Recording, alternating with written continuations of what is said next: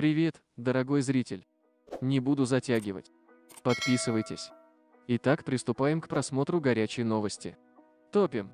Существует вероятность того, что Канаде придется обратиться за помощью к России.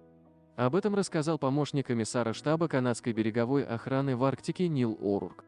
В последние годы отмечается значительный рост популярности Арктики в качестве туристического направления. В регион заходит большое количество круизных коммерческих лайнеров. По словам Нила О'Рурка, если с данными судами что-нибудь случится, то Канаде придется просить помощь у России в проведении спасательных операций. Береговая охрана не в состоянии справляться с подобными инцидентами в одиночку. Такие данные приводит издание The Epoch Time. Наша реальность сейчас такова, что если на Северном полюсе произойдет инцидент, который потребует эвакуации круизного лайнера, нам придется работать с Россией. Нравится нам это или нет, но мы можем оказаться в такой ситуации, рассказал Нил О'Рурк. Многих туристов привлекает Северный полюс, и некоторые круизные лайнеры, как отметил представитель Канады, способны доставлять туда туристов.